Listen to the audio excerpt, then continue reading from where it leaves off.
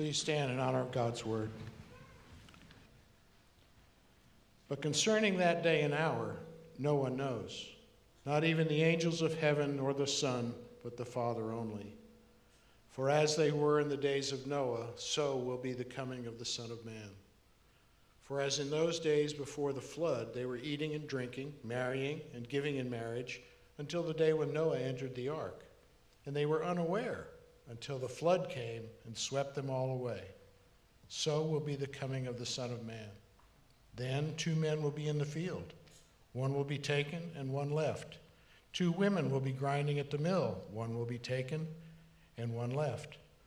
Therefore, stay awake, for you do not know on what day your Lord is coming. But know this that if the master of the house had known in what part of the night the thief was coming, he would have stayed awake and would not have let his house be broken into. Therefore, you must also be ready, for the Son of Man is coming at an hour that you do not expect. And from Revelation Then I saw heaven opened, and behold, a white horse. The one sitting on it is called Faithful and True, and in righteousness he judges and makes war. His eyes are like the flame of fire, and on his head are many diadems and he has a name written that no one knows but himself. He is clothed in a robe dipped in blood, and the name by which he is called is the Word of God. And the armies of heaven, arrayed in fine linen, white and pure, were following him on white horses. From his mouth comes a sharp sword with which to strike down the nations, and he will rule them with a rod of iron. He will tread the winepress of the fury of the wrath of God the Almighty. On his robe and on his thigh, he has a name written King of Kings and Lord of Lords. The word of the Lord.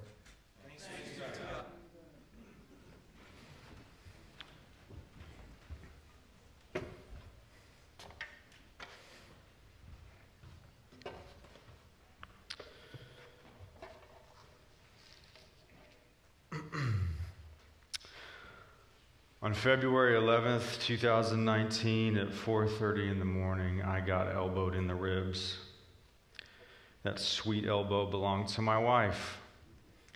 She woke me up, and it was one of those moments that you don't ever forget. She said, "Sweetie, I think it's time."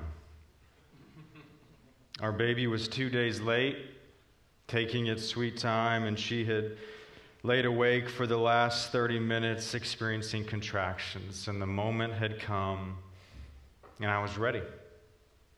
Because I knew how I thought this would go. I thought I knew how this would end. And at that point, the contractions were about six minutes apart. So we had a little bit of time.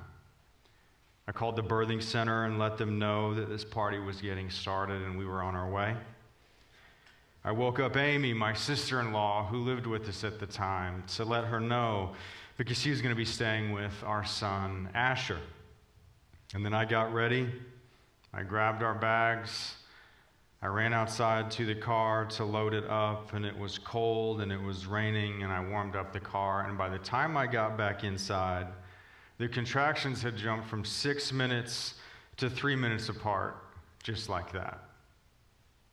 It was time to get a move on because we had to drive all the way to Allen.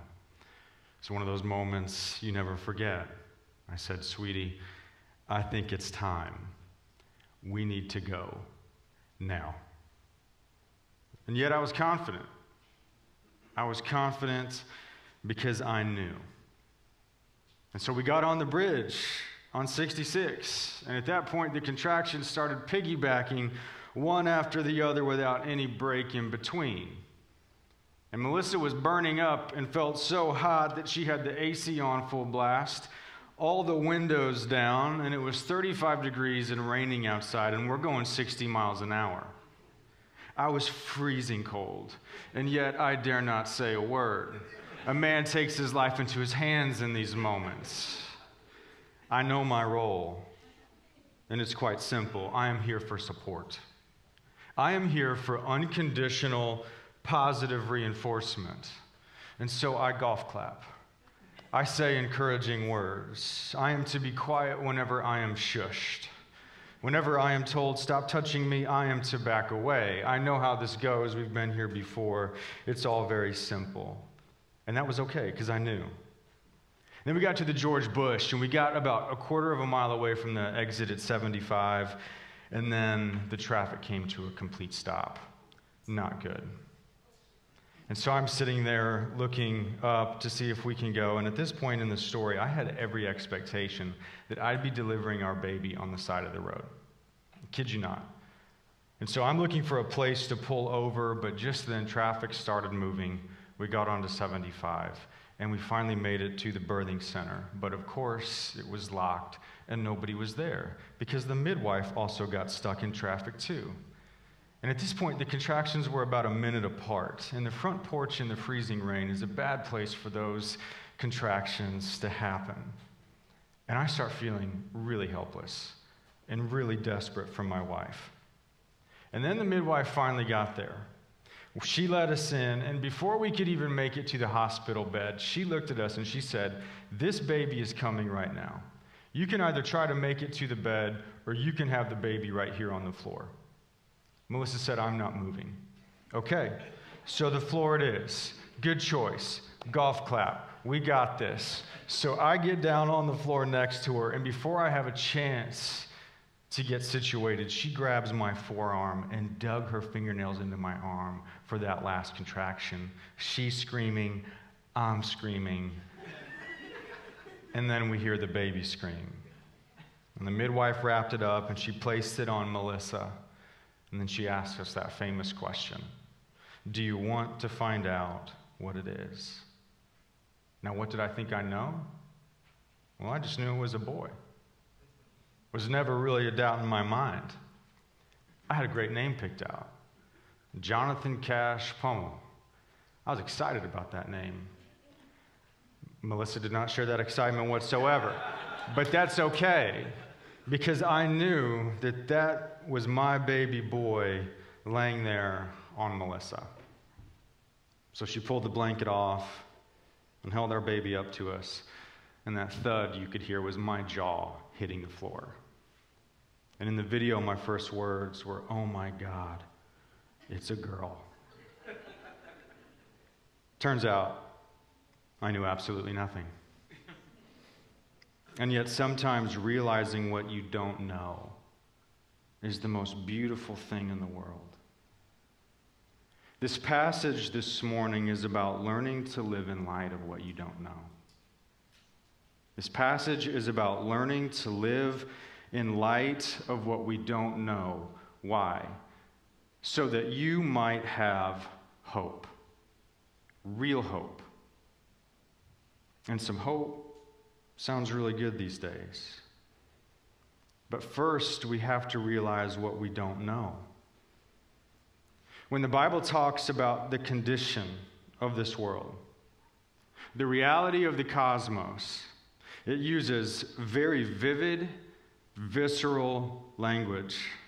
It says that all of creation is undergoing birth pains. It's violence, unpredictable, fingernails in the forearm kind of language. This world is deep in the throes of labor as it waits and longs for redemption. It waits for the one that can finally come and subdue it and bring peace, order, perfection, and bliss. Creation is like an anxious dog in the middle of a thunderstorm waiting for its master to come home. But the thing is, it's that this anxious dog is actually a planet that weighs 13 septillion pounds traveling at 67,000 miles an hour across a universe so vast it makes our planet seem non existent. It rages and toils with volcanoes, tsunami and earthquake, pandemic and plague, and Arctic blast that brings us to our knees. And yet, we think we're in the driver's seat. Perhaps that's why everywhere you look, there's a lot of discussion these days about what the world really needs. There's a lot of discussion about how to fix our problems. But the beginning of this passage is the invitation to come to terms with what we don't know. And the first thing is this is that the world's problems are bigger than we can imagine. And what the world really needs is bigger than we could ever comprehend. If it's lower taxes that you're after, well, then all of that's pretty straightforward and not the hardest thing in the world. But if it's cosmic redemption, well, that's a different category altogether.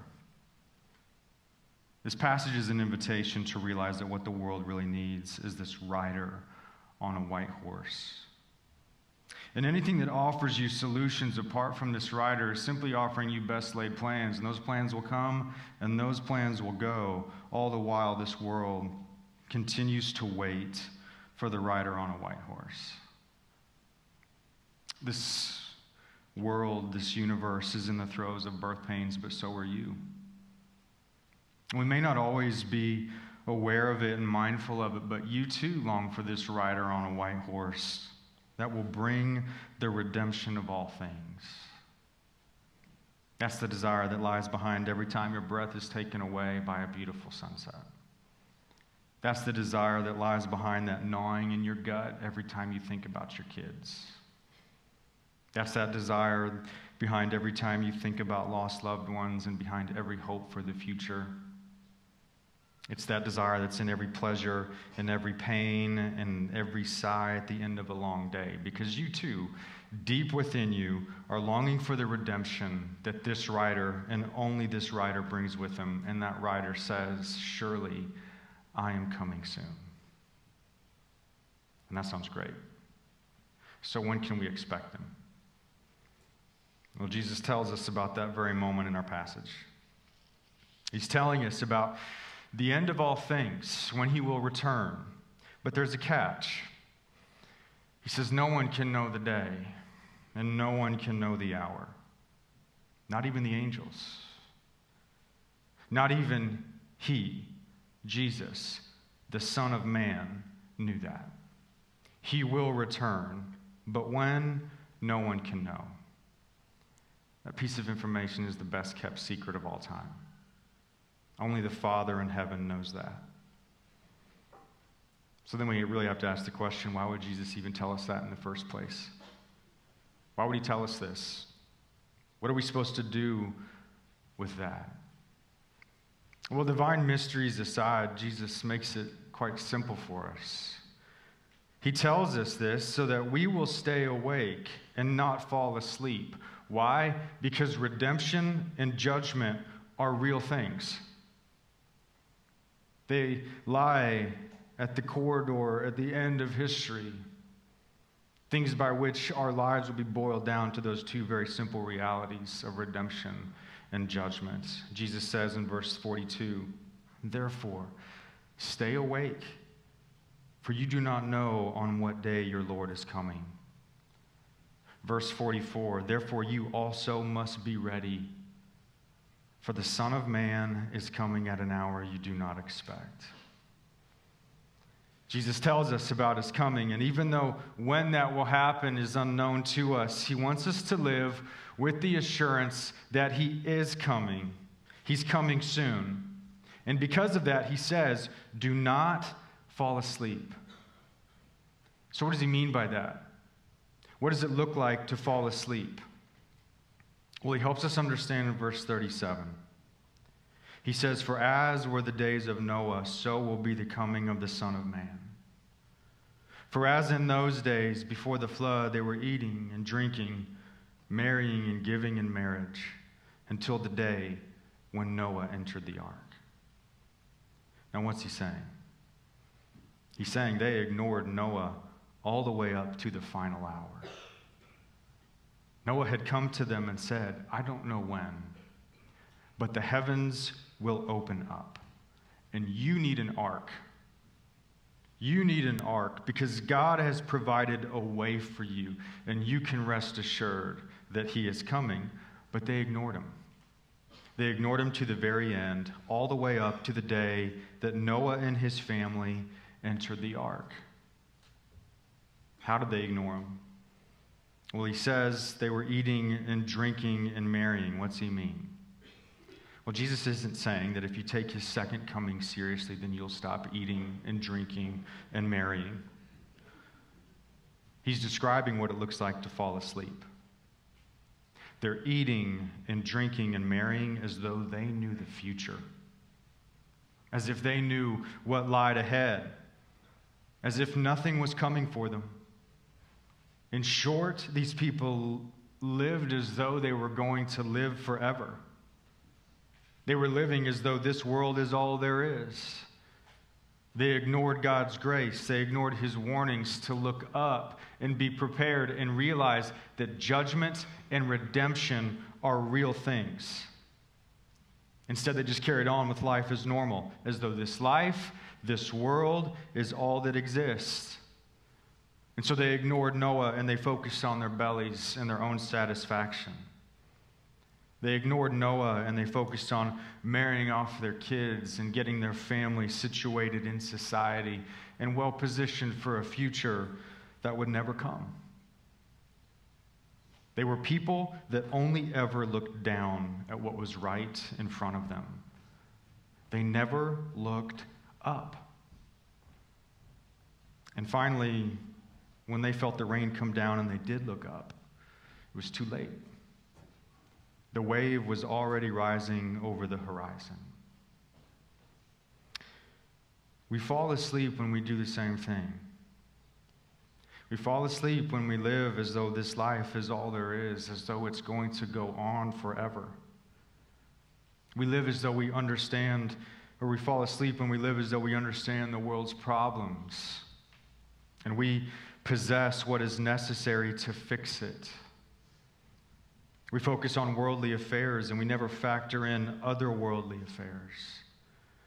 We become fixated and absorbed by politics and current events, by family and career, or living the good life and getting all of it situated just how we want it so we can coast. And we fall asleep when our gaze only resolves on the things of this world. And what do we do? We only look down, we never look up. We treat earthly affairs as though they were eternal.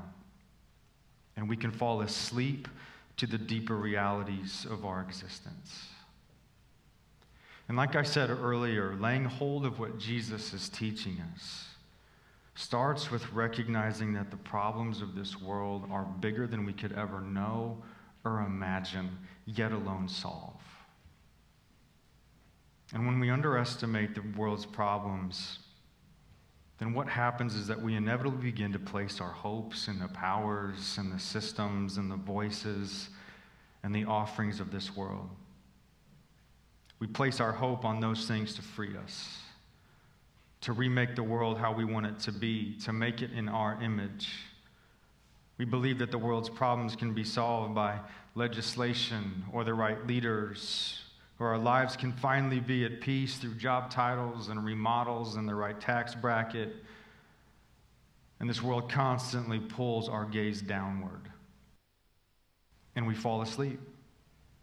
We fall asleep when we place our hope in these earthly realities, earthly systems, earthly structures, and we radically underestimate and forget what's really needed.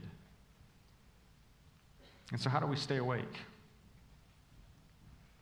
How do we stay awake and stay ready? It's by learning to lose hope in those very things. And Jesus isn't saying we live a life that's disconnected and detached from the world. But where you place your hope should be. Where you place your hope should be disconnected and detached from the things of this world. Yes, politics is important. To lay hold of the freedoms that we have been given, to take part in seeking justice, to protect life and liberty, but don't give it your hope. Because we know hearts cannot be litigated into this kingdom. Powers come, powers go, but it's the word of the Lord that remains forever. Yes, give yourself to your career. Work as unto the Lord. Enjoy the fruits of your labors, but don't give it your hope, because we know eventually that one day we will all clock out one last time. And we all leave this world bankrupt. Jesus is teaching us how to stay awake by living in the here and now without giving our hope to anything in it. And what that means is it means that staying awake is learning to live with that deep longing within you.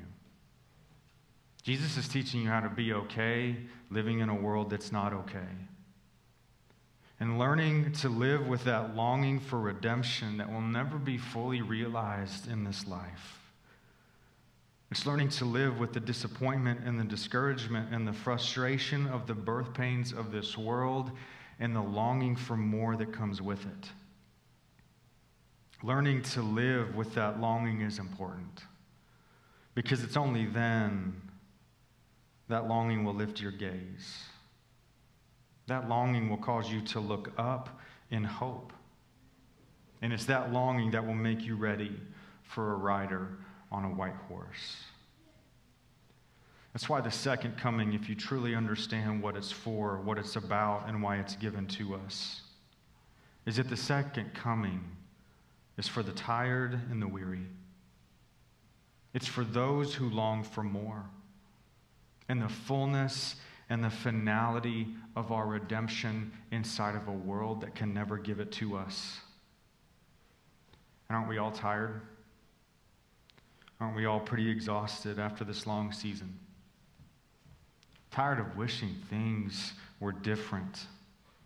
Tired as we struggle with the world deep in the throes of birth pains and we long for a world made right.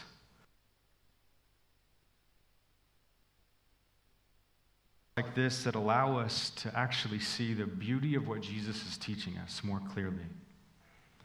Because it's seasons like this that wake us up, that lifts our gaze beyond the horizons of this world, and we look forward in hope to the rider that says he is coming soon. But when is he coming? No one can know. And yet, doesn't part of that make us feel hopeless? It doesn't feel very hopeful. Well, the story doesn't end in Matthew 24. There's much more to that story. Because even though we do not know the when of his coming, we can certainly know who is coming. And Revelation 19 is an invitation to look up. It invites your longing, it invites your desire, and it invites your hope. Because Revelation 19 is a gift to us. Because it asks you a very simple question Christian, do you have any idea who's coming for you? Do you have any idea who this rider really is? I'm going to describe him to you from what Revelation 19 says. I'd even invite you to shut your eyes and allow your imagination to look up and see who it is that's coming for you. It says this rider on the white horse is called faithful and true. In righteousness, he judges and makes war. His eyes are like flaming fire, and on his head are many diadems. His robe is dipped in blood and from his mouth comes a sword that will strike down the nations. He treads the winepress of the fury of the wrath of God Almighty, and his name is King of Kings and Lord of Lords, and the armies of heaven follow with him. That's quite the description. In fact, it's almost terrifying. To think otherwise is to not have read it at all. In fact, the very beginning of the book of Revelation says that when he comes, all the nations of the earth will mourn and wail at the sight of him. Because every eye will see power that this world has never known and never fathomed. But that description is not given to you so that you would be horrified. That description is given to you so that you might have hope because that's not just some poetic, fantastic language. It's describing reality. It's telling you who this rider is, what he does, and what he brings with him so that you will know who it is that's coming for you. And so, what does all that even mean? Well, are you tired? Of the disappointment and the discouragement of life? Are you tired of the exhaustion created by doubt and wondering if the promises of God are even true? Are you tired of that lingering question, God, are you there? Then look up and see this rider who's called faithful and true. Because when he comes, he brings the realization with him that all the promises of God are as true as the air that you breathe. You can have hope because one day your doubts will give way to certainty. Your wondering will give way to reality, and you will know not in part, you will know in full. And you can have hope. Are you tired of feeling alone, unseen, unloved? Tired of suffering with a happy face and going through the motions like everything is okay, when in reality it is not okay at all? Do you grow weary of prayer and searching and waiting? Are you tired of feeling broken and feeling like you will never be put back together? Does redemption feel impossible? Because who could account for the pain and sorrow in your life? Well, then look up and see this rider whose eyes are like blazing fire. And that means he sees all things Nothing is hidden from him. His eyes melt away all excuse and pretense and obstacle, and nothing can hide from his gaze. You can find hope in the one who sees you, who sees you in your suffering, who knows what's been done to you, either in your youth or in your old age. He sees every dark night of the soul. He hears every prayer offered in it. He's the one who counts your tears and places them in his bottle because they are precious to him. You can find hope that he is the one that brings redemption in full because he sees brokenness in full. He sees the full scope of the problem, and he alone has the full scope of the solution because his eyes are like flaming fire and he sees you. Are you tired of the anger and the rage and the venom all around us? Do you struggle following the words of Jesus in the way of love in a world of hate? Look up and see the one that has a sword that proceeds from his mouth, by which he will strike down the nations. And remember, it's worth it to love when you are reviled. It's worth it to bless those who curse you. It's worth it to love your enemies even when it's hard because He sees you. He knows when you struggle to do those things. And the world one day will know that everything that He said is right and true and good and valuable, and only His words matter. Everything else withers and fades, but the word of the Lord stands forever. Are you tired of the injustice and sorrow in this world? Does your heart break for the vulnerable, the oppressed, the forgotten, the destitute, the downtrodden? You've seen a measure of the insurmountable suffering in this world, and you ask, How long, O Lord? Look up and see a rider who sees all things and treads the winepress of the fury of the wrath of God the Almighty, the one who will bring a full recompense.